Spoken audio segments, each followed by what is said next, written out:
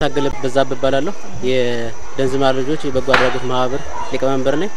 ያው የደንዝማር ልጆች ማህበር ከተመሰረተ ጀምሮ በበጎ ስራዎች እየተሳተፈ ይገኛል። በ2011 ዓመተ ምህረት ለ223 ተማሪዎች ደብተርና እስክሪብቶ ለግሷል። በተጨማሪ ደግሞ አንድ ለአይነ ስውር የክብደት መመዘኛ አበርክቷል። እንዲሁም አንድ ደግሞ HIV positive ለሆነ ልጅ ለሱም እንደዚሁ በተመሳሳይ ለግሰናል። አሁን በዘንድሮ ዓመት በዋነኝነት የያዝነው እቅድ የ junior ትምህርት ቤቱ በጣም ኃይለኛ የ class ችግር አለበት፣ እንዲሁም የወንበር እና በዋነኝነት አሁን ዘንድሮ ልንቀርፍ የፈለግነው ማህበረሰቡን አስተባብረን በዋነኝነት የ class ኡን ችግር ለመቅረጽ ለመቅረፍ እየተንቀሳቀስን እንገኛለን። የዚህም ተግባር ሊሳካልን ዘንድ በዋነኝነት ያደረግነው ምንድን ነው? አንደኛው የአካባቢ ማህበረሰብን ያው ከዚህ ትምህርት ቤት ተምረው የወጡ ብዙ ቦታ ላይ ያሉ ልጆች አሉ። አሁን አንደኛው ለምሳሌ የሰራልን ስራ የዲዛይኑን ስራ ሰርቶ ልኮልናል። ያው ምናልባትም አሁን የማህበሩ አባላት በጣም ጥቂት ናቸው። 350 ነው።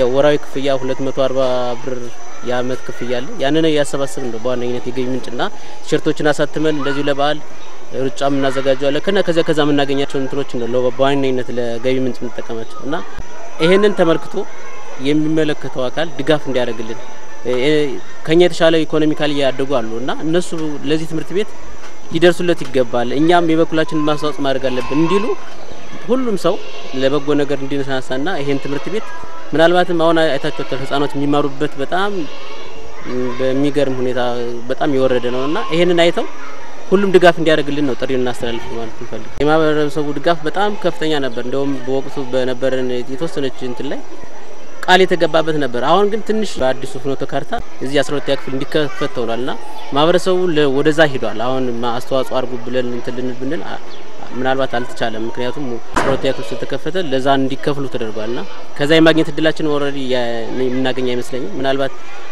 ከዚህ ተምረው ደህነኛ ቦታ ላይ እየገቡ አሉ፣ ጥሩ ስራ ቦታ ላይ ያሉ እነሱን አስተባብረን ስራውን ቢያንስ እንደው ትንሽም እንኳን ብናስኬደው ብለን እናስባለን። አደረስ የሚማራ አራተኛ ክፍል ነው።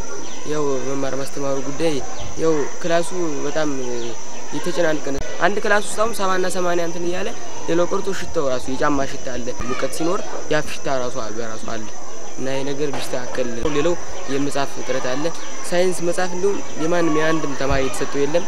በዚያ ላይ ደግሞ የወንበር የወንበር ሌላው አሁን እንደዚህ በጣውላ በተደረደረ ወንበር ላይ ነው የምንማረው። በዚያ ላይ መጽሐፋችን የት ማስቀምጠ መማር አንችል። በዚያ ላይ ደግሞ የጽዳትን ጉዳይ ሌላው ውሃ ራሱ ውሃ በአግባቡ ራሱ እንትን ማለት እየጠጣን እንትን እያልን አይደለም እየተጠቀምን አይደለም። ሌላው ጽዳት የሽንት ቤቱ ጉዳይ ሽንት ቤቱ በጣም ትንሽ ነው፣ ተማሪው ደግሞ በጣም ብዙ ነው። ስለዚህ ጫፍ እንትን እየተባለ ስለሆነ የጤና ጉዳይ ማለት እኛም ህመም ላይ ጉንፋን እንደምታይ ድምፄን ራሱ እየሰማሁ ነው። ጉንፋን ያሞኛል እኔ ራሱ እና አብዛኛው ተማሪም እንደዚያ ስለሆነ ያው ይሄ ነገር እንዲስተካከል። ሌላው ደግሞ የቤተ ሙከራ ጉዳይ ተጠቅመናል። ሐኪሜም እንዲስተካከል ሞላይት ይባላለሁ። በሽ ቀበሌ ያው የልማት ኮሚቴ ነኝ። ትምህርት ቤቱ ያው በ1963 ዓመተ ምህረት ነው የተመሰረተ እና ከዚያን ቀን ጀምሮ እስከዚህ ያው ጊዜው በመብዛቱ አንኛ ብዙ ችግር ደርሶበታል። እንደምታዩት መስኮቱ ፈራርሷል። ግድግዳው እንደምታዩት ፈርሷል። ትምህርት ጥቅሙ ሲታወቅ ገበሬው ወደዚህ ትምህርት እየገፋ ሲመጣ ተማሪዎች ብዛት የተነስ መማሪያው በጣም ጠቧል። ሁለተኛ በአፈር ላይ ወድቀው ነው የሚማሩ የአጓራ እየተነሳ አይናቸው እየታመመ ብዙ ነገር የደረሰባቸው አሁን ያለ በገጠር ያሉች ልጆች የሚያሳዝን ነገር እና የደንዝማ ልጆች የተባሉ ወጣቶች አሉ። በበጎ አድራጎት ድርጅት የተመሰረቱ ናቸው። አንዳንድ ችግር በሚፈጠር ጊዜ ወንበሪ ያዘጋጃሉ፣ አንዳንድ ነገሮች ያደርጋሉ። ወላጅ አልባ የሆኖች ደብተር ያዘጋጃሉ፣ ተራቦችን ያበላሉ። ብዙውን ደግሞ የተራቆቶችን እያለበሱ እያሉ አሁን ደግሞ ይህንን ተቋም ወደፊት እንገነባለን በማለት ካርታና ብላን አንስተው እየተንቀሳቀሱ ይገኛሉ። ተማሪው በብዛት አለ፣ ይኸው ፈራርሷል። ያው ህብረተሰቡም እንግዲህ አጋዥ እየጠየቀ ነው። ብንማር እንዴት ሆነ ነው የምንማር? በአጓራ ላይ የሆነ በዚያ ላይ በብዛት ስለሆነ ትምህርቱ በደንብ አልተሰጠንም በብዛታችን የተነሳ እና ራሱ መድ ያስጠይፋል። እንዲያውም እዚያ ትምህርት ቤት ነው የሚሉን እንዲያውም መድ ያስጠይፋል። ምነብቴው አባ ፈራርሶ እያሉ ነው በየቤቱ የሚያዋሩ። ቦኖብኛ አይኔ ታሞ እችን ብቻ ነው የሚያወሩ ሌላ ያለ መኮንን ይሁን ይባላሉ። የትምህርት ቤቱ መምህር ነኝ። እንደ አጠቃላይ በዘንድሮ ዓመት የመዘገብናቸው ተማሪዎች ወንድ 1521 ተማሪ፣ ሴት 1563 ተማሪ በጥቅሉ 3084 ተማሪዎች አሉ።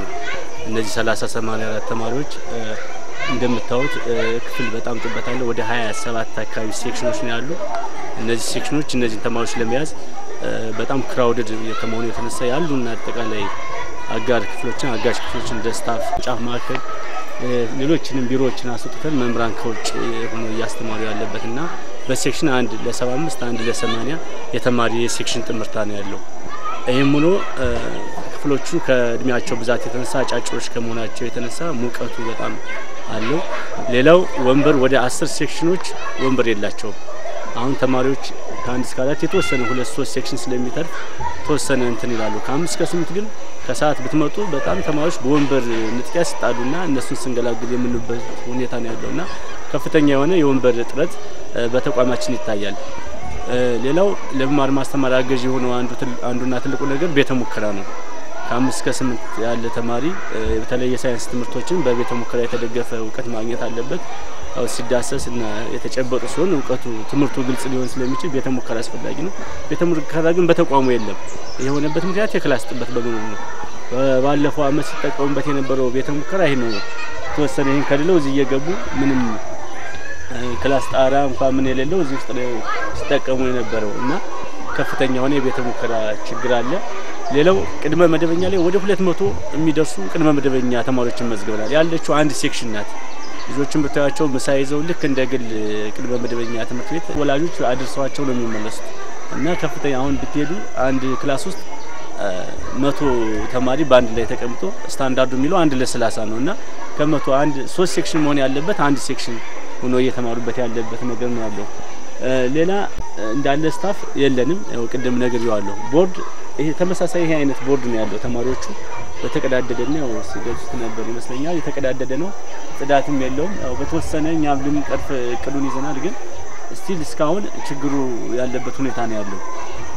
class ብትገቡ ተማሪዎች በአግዳሚ ወንበር መሬት ተቀምጠው የሚማሩበትና በጣም የተደሳቆለበት ሁኔታ ነው ያለው። በአጠቃላይ ተቋሙን ለመቀየር ባለፈውም የደንዝማር ማህበር የሚል በራሱ በግል እንትን የሚንቀሳቀስ ከነሱ የራሳቸውን ፕሮጀክት ነድፎ በቀጣይ ከረጅም ጊዜ በኋላ የረጅም ጊዜ ቅድ ሊሆን የሚችለው ዘንድሮ ቢጀመር ነው የመፍታት ሁኔታው ሊኖር ይችላል። ግን እስቲል አሁን ያለውን መማር ማስተማር ለማሳለጥ ግን ከፍተኛ አደጋ ውስጥና ችግር ውስጥ የገባንበት ሁኔታ ሳለ ሽንት ቤትም ብታወት ሁለት ሽንት ቤት ነው ያሉት እና ከዚህ ከተማሪ አንድ ቀዳዳ ለአርባ ተማሪ ከሚኖሩ ጋር ሲታይ ምንም የማይገናኝ በጣም የሽንት ቤት እጥረትም ያለበት ተቋም ነው እና በዋናነት እነዚህ የቤተ ሙከራ፣ የወንበር፣ የብላክ ቦርድ፣ የክፍል ጥበት እጥረቶች ከተቀረፉ ይህ ትምህርት ቤት እንደ አንጋፋነቱ የተነሳ አብዛኛው ህብረተሰብ ክፍል እዚህ መማር ነው የሚፈልገው እና እዚህ በርካታ ጥሩ የሆኑ ተማሪዎች ጥሩ የሆኑ ልጆች ይወጡበታል ብዬ አስባለሁ።